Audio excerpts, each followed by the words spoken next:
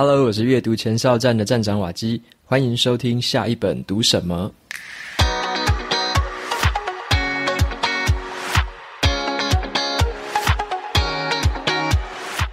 在节目的一开始，要先很感谢对我留下五星评论的朋友们。那么在今天节目的最后，我会留一点点的时间来回答里面的一些问题。好，那我们先回到今天的主题。今天要跟你介绍的这本书，书名叫做《极度专注力》。这本书里面，它总共介绍了六个技巧。那这些技巧呢，都可以帮助我们去战胜自己的分心，也可以让我们自己提高注意力，还有创造力。我认为这本书的厉害的地方，就是在于说，他把这一个刻意管理注意力的这件事情，很详细的讲出来，然后也很具细明义的去跟你说，为什么要去管理我们自己的注意力，以及要如何做好。那么这本书他在谈什么东西呢？它的作者叫做克里斯贝利，他本身就有在经营一个网站，那这个网站是专门在帮。人们提升生产力啊，提高工作效率，提高生活品质的这个网站。那在这个网站里面呢，他本身就有在收集一些关于生产力的这些诀窍哈。然后在这本书之前，其实他还有出过另外一本畅销书，他把自己的实验的经验写成一本畅销书，叫做《最有生产力的一年》。那么这本书其实最近也刚重新出版了，我也很有兴趣，下一本我也会想要找这本来看。OK，那回到《极度专注力》这本书里面。作者呢，他其实是用了一个，我觉得是他会诊了各方的研究，哈，各方的文献书籍，他把这一些研究里面关于生产力和注意力的事情浓缩之后呢，写在这本书里面跟我们做介绍。那么他把这一些理论呢，跟他实验的这些心得，他总共把它分成了两种注意力的模式，哈。第一种呢，他会称为说这个叫做极度专注力。英文叫做 hyper focus，就是超级专心哈，这是一种状态。那第二种专注力，它把它称作于分散注意力，英文叫做 scatter focus。这种是比较分散的分散的注意力，有点像是你在随心所欲或者散步的时候那样子的分散注意力。好，那么这种超级注意力呢，跟分散注意力其实就会有两个不同的效果，而且不同的情境下可以使用。所以在今天的节目里面，我就稍微跟你介绍一下这两个模式。分别在说什么？那这两个模式里面也个别包含了三个技巧，所以就是今天总共会跟你介绍六个技巧。在介绍之前，我要先问你一个问题哈：为什么珍惜注意力这件事很重要呢？我们从一个问题去思考哈：你认为金钱和注意力两个相比较啊，哪一个比较珍贵？钱还有注意力？如果你没有答案哈，没有关系哈，因为。我们可以看一下哈，我们自己像花钱的习惯，对于大部分的人来说啦，可能都花钱的习惯都是比较斤斤计较，而且很谨慎嘛。你买东西可能都会货比三家，然后你上餐厅前你还会去查评价，然后还会计较哇有没有一些折扣优惠啊。不小心你如果多花了一些钱，你还会很心疼哦。但是你想了另外一个，你对于注意力的使用有这么小心吗？有这么谨慎吗？反而。你是不是有点就是变成无时无刻可能拿起手机就在滑，然后整个晚上就看着社群媒体，或者是开始看电视追剧？也就是说，在钱跟注意力这两个东西相比上面，我们有时候在使用自己的注意力，其实就是很任意的挥霍，其实很少去自我察觉，说你到底怎么样去使用自己的注意力？一天里面，你到底哪一些时间让自己真正专心在做哪些事情？所以，在我自己读完了这本书之后啊，我心里就对作者他说过的这句话有很强的共鸣哈。作者他就说，如果一个人他最珍贵的资源是什么呢？并不是他拥有多少的钱财还有时间可以去花费，而是他把注意力用在哪个地方。那么接下来呢，我来介绍一下两种主要的生产力模式。第一种叫做极度专注力。在极极度专注力这个模式里面呢，作者就是说，你在执行任务的时候，你要避免外界所有的杂讯的干扰，然后你不要让这些外界的这个杂讯的干扰去抢夺了你的注意力。也就是说，在这个时候是超级专心的状态。那么，很很多人都听过说，这个状态有些人把它叫做心流，当你去做一件事情的时候呢，你有点心无旁骛，往就是全力以赴的时候呢，这时候好像你其他的一切事情都不重要的时候，这个状态就被称作心流。然后呢，这个论点可能很多人都看过了，就是说你要就是专心、专心再专心嘛。但是呢，你去实际想到你的生活面上面该怎么做呢？怎么样才叫做真正的专心？所以这件事情其实说起来好像比较简单了，但是做起来其实不简单。就我举个例子嘛，像我们之前我自己啦，常常就是用网络啊，然后像用手机、用电脑，那会逛社群媒体，然后也会看一些娱乐新闻跟电影。其实，在这个过程中，你很容易就分心了。就是像我有时候之前，我如果要写作的时候，或者说我要读书的时候，我如果开着电脑，或者我开着网页开始在逛，然后即使我要做。想要做事情的，但是你还是很容易就被那些网页拉走，你的心思就被拉走，因为他可能还是会跳一些通知嘛，或者是还是会挑一些你你收到讯息了，收到信了，那你很容易就让自己无时无刻的分心。像这本书里面作者他就根据这些研究举出一些很吓人的数据哈，他指出说，像我们平常在工作的时候啊，我们每个人平均哦，就是每一天在电脑软体之间的切换是五百六十六次。然后我们每一个人平均查看电子邮件的次数就是八十八次每一天。然后你每一天这样子持续的这个被这些状态分心的时候呢，你就很容易就是没办法专注在做某一件事情，你很难专心下来。因为像刚刚那个数据讲起来的话，你平均每四十秒你就会切换一次任务，就可能切换一次视窗。然后根据那个作者他看这些心理学的统计，就是说，像这些任务完全被中断的时候呢，你的心理状态大概要花二十分钟才能完全回到之前的状态。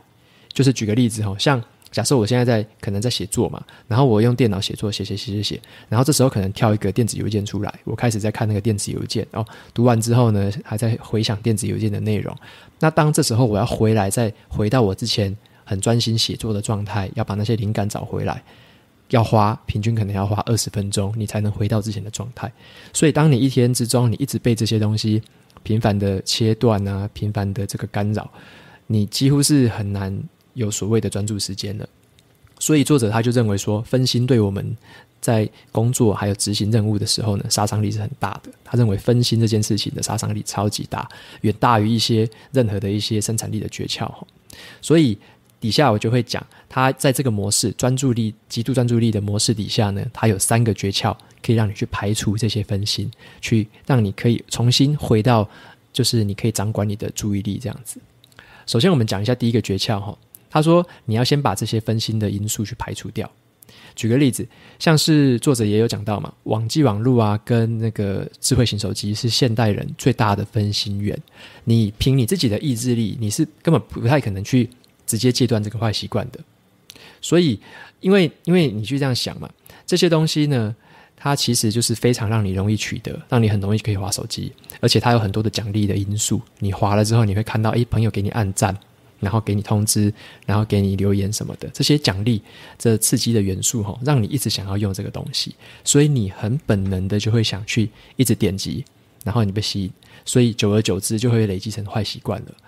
所以呢，作者他很真心的建议，就是说，哈，在所谓的你要在极度专注的这段时间里面，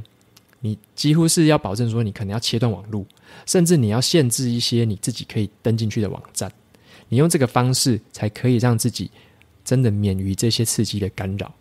然后像我自己做的做法啦，我自己的话，像我的手机是把 A P P 的通知我把它取消，然后我也把手机的铃声取消，只留下那个电话的铃声。我也把那个手机上的社群媒体还有影音软体都删掉。我然后最重要的就是说，像作者他也很建议说，你可以找到一个比较不要被打扰的地方。然后你就是有些人他会喜欢在那种开放式办公环境跟大家聊天嘛。但是以作者的建议来说，如果你要能够专心的做事情，最好还是找一些可以独处的地方，这样对自己的工作效率其实是会比较好的。那么我自己刚刚讲过，我自己。的手机是这样处理嘛？那像我自己的电脑的话也是一样，我的电脑我也是会在我的那个浏览器上面，我会装那个一些程式，是可以限制自己用一些社群媒体的限制时间。像我自己就限制，大部分都是限制晚上十点之后，十点到十一点这段期间才可以用网页跟那个社群媒体这一块。其他的时候我就是把这些禁止掉这样子。然后我现在发现，就是我自己最容易专心的时间，其实就是每天早上我起床之后的黄金的九十分钟啦。就在上一次的节目我有分享过，就是起床之后的黄金一小时，这段时间我可以非常的专心，我把网络断掉，我也不看讯息，在这时候我就很专心的写作还有阅读。有兴趣的朋友也可以参考一下前一集的节目哈。接下来我们就讲第二个专心的诀窍。这个诀窍就叫做批次作业。批次作业哈，它指的意思就是说，你在做一件事情的时候，假设你在收 email，你最好是在某一个时段，可能这五分钟、十分钟，专心的收 email，把它收完、处理完，然后在下一个时段，你就专心的在做另外一件事情，吧同质性的事情就是放到同一个时段去做了，不要一直来回的切换，这样子的话会让你很容易分心呐。因为作者他就提到一个名词叫做注意力残留。这个指的就是说，你从一个任务切换到另外一个任务的时候，你的注意力会残留在上一个任务的片段里面，你会一直留留恋着上一个片段到底在做什么事情，很难去专心下一个任务这样子。所以要避免这个注意力残留的这种方法，就是说你把很同质性高的东西留到同一个时段去批次处理。所以你可以想，假设说我刚刚讲的电子邮件嘛，你就可以安排可能是早上、中午、下午各收一次电子邮件。如果你需要比较频繁的，你可能就每两每两个小时，好收一次就好了。你不要每一分钟无时无刻都在刷电子邮件，你那样刷绝对是没有效率的。你这样切换来切换去，总是留恋着就是说要刷电子邮件，很容易被打断思考啦，然后你也很难专心。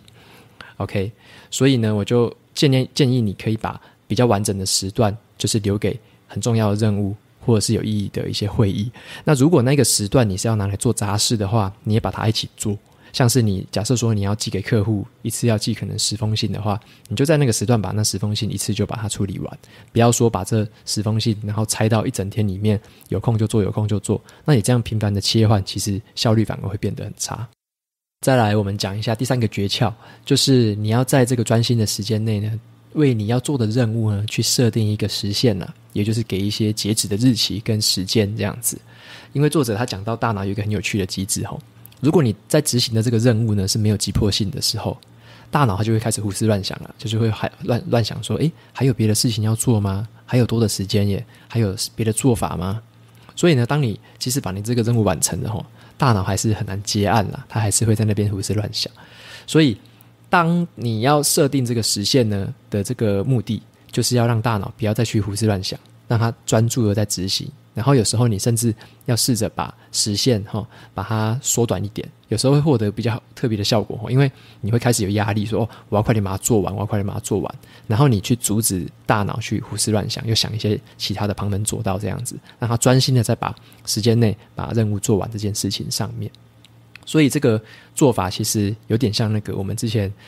呃学生的时候，不是考试大家都会有临时抱佛脚的经验嘛？哈，在那种最后关头的时候，你就是火力全开嘛，一定要把它做完，一定要把它读完就对了。或者是老板要教你交报告，你真是只剩下最后一小时了，你一定是使出全力，就是要把它做出来嘛。所以给自己时间限制的效果是这样。然后我还想要。讲一点是说，你千万不要把那种任务就是都没有给他时间限制，就是诶，我要做这件事情，可是我没有给自己截止时间，那么很大的可能就是这件事情对你是不是一点重要性都没有，然后甚至你一定应该是不会把它好好的做完的，因为你会知道说啊，反正他没有时间限制嘛，我就放着，等下来弄，等下再弄，那等一下通常都是永远的，就是不会去弄了。好，谈到这边的话，我们刚刚已经讲完了三种，就是让你可以。极度专注的这种模式，接下来我要谈的这个叫做比较偏向于创造力的模式，作者把它叫做分散注意力。OK，比起上面那一个极度专注力不太一样哦，上面是讲说提高你的生产力，让你在有限的时间内做出最多的成果。但是哈，我们不可能一整天都处于这种状态嘛，所以作者他在后面就提到说，其实还有另外一个模式叫做分散注意力。这个模式呢，可以让你。比较能够放松脑袋，去规划比较长远的未来，让你养精蓄锐，然后去开始联想，哈，想出新的想法。这个时候就是你最有创造力的时候。像是我们自己脑袋里面的思考啊，你可以这样想，就很像你在一个很广大的天空里面，那你的思考呢，就很像那个天空里面很多的星星，一点一点的散布在这个星空里面哈。那当你要去取用你的这些思考，取用你的这些记忆的时候，就很像你去把这些星星彼此串联起来。然后呢，哪一些记忆会互相串联，其实你是没办法刻意去控制的。有时候你就是突然想到了什么事情，很随机啦，所以。当这个时候呢，就是我们最有创造力的想法，常常就是在这个时候去发生。就是当你放松脑袋，像是洗澡的时候、散步的时候，你就很有一些呃灵感突然跑出来，就是在这个时候。所以这个分散注意力呢，它很关键的一个条件就是说，当你在执行这个任务，它是比较没有压力而且轻松的任务的时候，它最容易发生。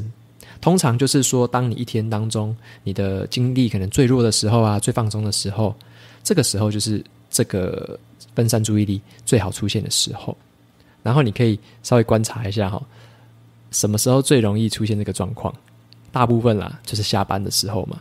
或者是你可能中午吃完午饭的时候嘛，这个时候就是最容易出现这种放松放空的状态。那你如果把这个时候拿来开始划手机追剧，或者是开始就是无限制的休闲娱乐的话，那其实你可能就已经错过了这种分散注意力的时间。作者接下来会讲三个小诀窍，可以让你掌握这些时间，好去做一些更有创造力的事情。第一个呢，就是你要先清除你脑里面的杂念。作者他就是说，你要发挥这个分散注意力，哈，最好的效果就是要先把脑中这些杂念清除，把这个空间呢腾出来。让这些自由的创意去发挥哈，他用一个很很有名的书叫做《搞定》这本书，好，它里面有一个重点就是说，大脑其实是用来产生想法的，而不是用来保存想法的。他的意思就是说，像你如果脑脑袋里面有很多的代办事项或者是一些杂物啊杂项，这些短期记忆哈，你其实是可以用写下来的方式把它们清空的。像我自己而言呢，我自己有在做那个子弹笔记，就是有点像日记的这个方式。我会喜欢把这一些事情，就是我要做的专，就是任务那一天要做的一些代办事项，我把它写在笔记上。写下来的时候呢，其实你的脑袋就很容易就把这些事情有点像放下来了，因为你你知道你已经把它写在某一个很重要的地方上，你不会忘记了。所以你反而你写下来的时候呢，你心里面那颗石头就可能会忘，就是会放松了。好，就是你可能不会再一直去留恋它。然后有一些人可能会想说，这些东西你用那些电子工具啊，甚至是电子邮件去记录不好吗？那我这样子我会比较认同作者他说的哈，他认为说像电子邮件是最不适合用来放代办清单的东西，因为这个东西电子邮件嘛，它令人分心，而且会让你无所适从，而且它会不断冒出新的邮件，好让你很难分得清楚哪一些任务是重要的，哪些任务是不重要的。所以他不太建议你把很多事情全部弄电子邮件来处理。第二个呢，就是说你可以去做一些简单的任务，但是在做这些简单的任务的时候，你如果有任何的想法、灵感，就把它捕捉下来。举个例子，就像是说，你可以去做一些简单重复的事情了，像是说洗碗盘呐，然后晒衣服啊、散步啊、洗澡。这时候你都会脑袋开始不安分，就是开始很自由的联想哈，因为这时候你很放松，你可以开始自由的联想。可是呢，作者就会说，在这个时候，你的创意想法，你就尽可能的用一些方式把它记录下来。像有些人他喜欢用录音的方式把它录下来，那像我自己是喜欢我手边都有笔记本，所以我喜欢把这些想法就直接用手写的方式写下来。那么利用。分散注意力最有名的应该就是阿基米德了。他在泡澡的时候就发现了浮力原理。然后像另外还有就是牛顿嘛，他在被苹果砸到的时候说：“哦，那这这时候他想到了万有引力。”那时候在睡觉嘛。还有就是物理学家费曼，他很喜欢就是在酒吧放空的时候啊，喝酒的时候，他就把灵感写在餐巾纸上面。这也是他很有名的一个事迹哦。所以，当你在做这些简单多功的事情的时候呢？你就可以问自己一些天马行空的问题啊，可能有一些灵感，这时候就会跑出来。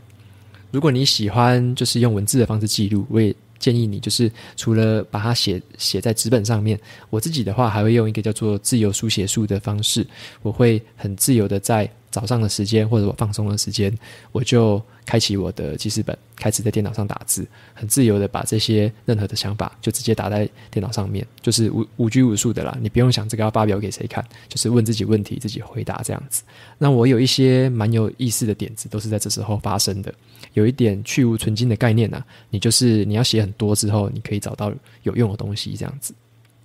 最后一个就是第六个小诀窍。就是睡前去设定目标，这个跟蛮多人的想法可能不太一样吼。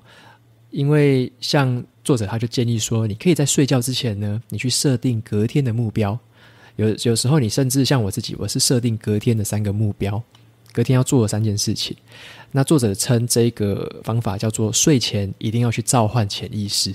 我其实蛮同意的哈，像我自己的话，我是会在睡前的时候用子弹笔记去写下明天要做的什么事情。我把它写完之后，我就可以很开心的入睡，因为我知道我已经把那些事情规划好，明天早上起来我再好好的去做它，所以我就可以很放心的睡觉。然后这个时候有一个很特别的地方，就是说在睡觉的时候呢，我们人类啊，就是会进入一个叫做快速动眼期的一个睡眠时时段，然后这时候你的身体肌肉其实是很放松的。然后你的这些睡前的这个问题，就会在你睡眠的时候潜意识里面继续去思考。其实你可能你你可能已经睡着了，但是你的潜意识其实是还在活动的。这是蛮多的科学都有研究都有证明这件事情哦。所以。这个诀窍其实可能适用于某些人啊，但是有些人可能已经有点失眠的困扰了。那你如果觉得这个诀窍不太适合你的话，你可以不要用，没关系。不然你等下想了明天要做什么，结果整个晚上睡不着，这样好像也不是办法。所以这个可能有点因人而异啊。OK，那么在今天的节目的最后呢，我讲一下，就是在这个分心跟专注的这两个这个两个问题里面呢，让我印象很深的就是说，作者他在书里面说到了。他自己身为生产力专家嘛，你可能会觉得他很拥有这种很超凡的自制力，可是他说他并没有哦，他只是比较擅长去提前管控自己的冲动而已。所以你看他其实也蛮诚实的哈，像他自己也在书里面就是幽默很多次啊，就是说哦他什么地方没做好，他什么地方又分心了，什么地方又没办法管好自己什么的，但是他总是会。知道说什么时候该把自己抓回来这个轨道上面，什么时候该把自己再抓回专注的这个轨道里面，这样子。所以我认为在现在的这个时代啊，我们花太多的时间去单纯的消化别人创造出来的时间事情，然后你可能太少了把这些注意力留给自己，可能你少留给自己去阅读、去创作。好，去思考之后，消化吸收之后，再产出，再跟别人表达这样子。所以我自己很喜欢一句话，叫做“注意力其实非常的宝贵哈”，所以你要非常自私的只留给自己使用，不要太过度的去呃接受外界的刺激了。就是外面看到什么娱乐新闻，看到什么讯息，就一窝蜂的跑去。那这样子的话，其实你会很少时间留给自己，好好的去。看一些有有意思的东西啊，这样子，所以我们要回过头来想想，说你自己是每一天都把注意力花在什么地方呢？你每一天自己刻意去做事情的时间有多少？你全神贯注的时间有多少？然后你在大脑放空的时候，你多久才会发现自己哦，原来我现在是放空状态了，原来我现在累了，或我现在在休息？你什么时候会发现这样子的状态？然后你什么时候又发现自己已经开始沉溺于这一些？那个过度刺激的娱乐啊，或者是过度刺激的影片啊、音乐什么的，你什么时候会注意到自己的这个注意力状态？这本书就是在教我们做这些事情。除了告诉你这一些诀窍之外，也让你知道说你需要随时去观察自己使用注意力的这个状态。所以我最后就给你一句作者他讲的很好的一句话，就是说，生产力不是做的更多了，而是带着意图呢，刻意的去做。正确的事情就是这样而已。好，所以这本书就是教我们把工作和生活变得不要这么刺激了。因为你越不接受这些刺激，你的思考才会越深入。好，过度的刺激反而会让你开始分心，好，开始没办法专注的思考。所以要记得随时观察自己的注意力飘去哪里了，专注在哪里，成就就在哪里。今天的节目到这边差不多要进到尾声哈，我留一点点时间来回答一下 Apple Podcast 里面。有读者会问我一些问题，还有他们的留言哈。第一篇的话，这个读者名称叫做“九思爱耍废”，这个名字有点中二了哈。不过他的他的留言还不错啦，他说很有内容，言之有物。虽然也喜欢看书评，可是自己要去读书就觉得没有什么动力，很难自己读书。不知道要怎么样才有动力能一直阅读呢？我这边的回答是说，我认为啦，你要找一个你眼前自己最有最有兴趣或最有问题的一个